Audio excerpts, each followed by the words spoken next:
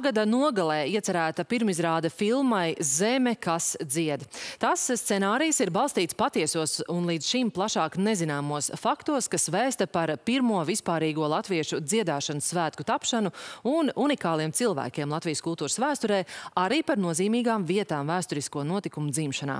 Filmā jau ierakstīta mūzika, ko radīs komponists Jākaps Jančevskis. Mūzikas ieraksta brīdī klāt bija žurnāliste Ilze Strēnga.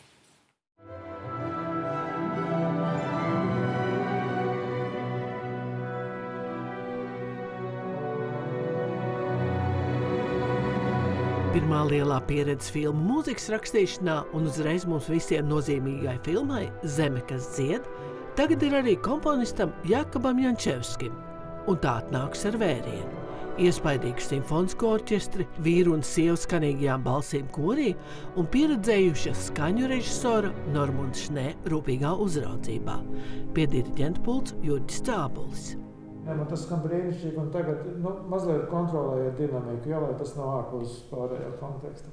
Es laikam pēc būtības esmu tāds varbūt vecmodīgāk kino mūzikas piekritējs, jo man šķiet būtiski, ka klausītājs arī pēc šī seansa, ka viņam ir nu, kaut kas arī muzikāli, ar ko piesaistīt savu prātu un atgriezties pie tās filmas.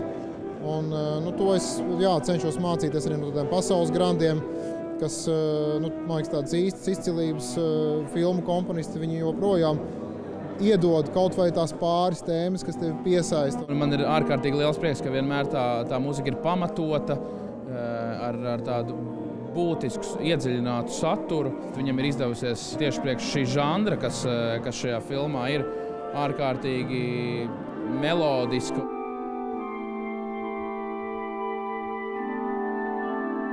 Filmas režisors Māris Martinsons jau pāris gadus kopā ar komponistu Jākabu Jančevski strādā pie filmas mūzikas. Jau pirmajās komponista atsūtītajās mūzikas epizodēs ir bijis vēriens, jo arī tēma ir nozīmīga. Par pirmo vispārīgo latviešu dziedāšanas svētku tapšanu un unikāliem cilvēkiem Latvijas kultūras vēsturē. Mēs izvēlējāmies dzīvos instrumentus, tāpēc, ka stāsts ir dzīves. Stāsts ir par kaut ko, kas ir dzīves šobrīd, par dziedāšanu un uh, liekot kopā arī kori, ierakstot.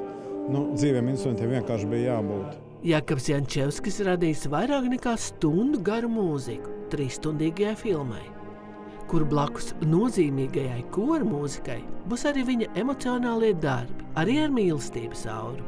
Bija divas vietas, kuras Jākabam teica, Jākab, šajā vietā ir jāraud. Šajā vietā ir jāraud, nebaidies, ka būs par skaistu.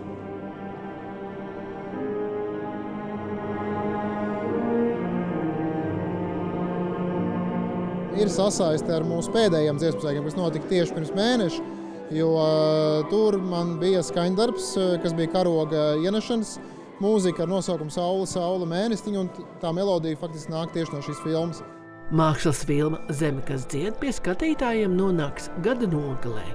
Ilza Strenga, Ivars Žepickis, Latvijas televīzija.